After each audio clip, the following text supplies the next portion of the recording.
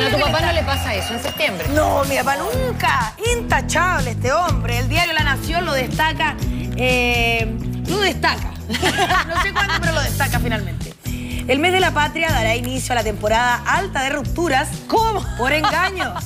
El ambiente festivo se confabula para que los chilenos se porten mal o peor que el resto del año, comentó Ricardo Viteri, director de separadoschile.cl. Tomen nota ustedes que están ahí.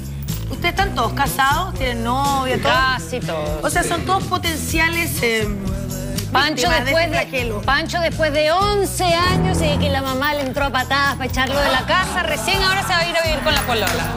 Un aplauso para Pancho. Va tiene 64 años y todavía vive con su madre. Lo logramos. 11 años después el pololeo recién se va a ir a vivir con la Todavía él no, no concreta con la novia porque está en la años. casa de la mamá.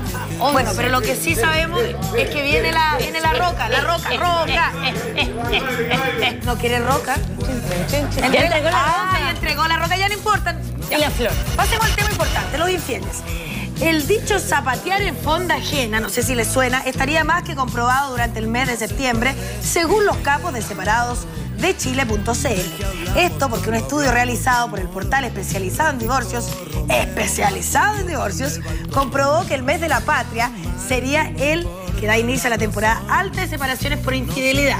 Mira, yo no culpo a nadie, porque finalmente uno va caminando, siente olor a, a ciruelo, asado, hay un poco de sol, se empieza como a sacar ¿Será la eso que ropa. es como la llegada de la primavera que hace que la gente se alborote un poco? Se alborote, yo creo que sí, y Te, entre te- otras te empiezas a quitar las capas, baja la fonda. Las capas. Las capas de ropa, obvio, empieza calorcito, todo pasando en la fonda, todo el mundo contento. Ah, ah, ah, Y aunque no vaya las cosas. Y aunque no vayáis a la fonda, podéis Sí. ir a otros lados. No, pero digo, esas instancias en las que la gente eh, se siente un poco más débil. Exactamente, como dice aquí la noticia.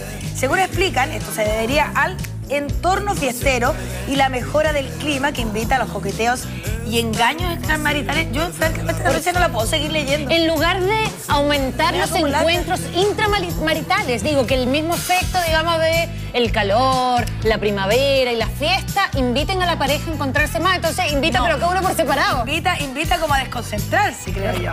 El ambiente festivo se confabula para que los chilenos se porten mal o peor que el resto del año, como dice nuestro director de esta web, agregando que pareciera ser que es una época particularmente complicada para controlar algunos impulsos sexuales. Es verdad. Lo confirmo. ¿Cómo tanto? Eh, ¿Cómo sí, tanto? por tanto, no está de más sugerir a los casados estar desde ahora particularmente atentos a señales que muchas veces son inequívocas de posibles infidelidades de su pareja. Así que los hombres también no- tengan cuidado porque las mujeres también se desconcentran. Se Ah. la manojita marina y se van, se pierden. Onofre.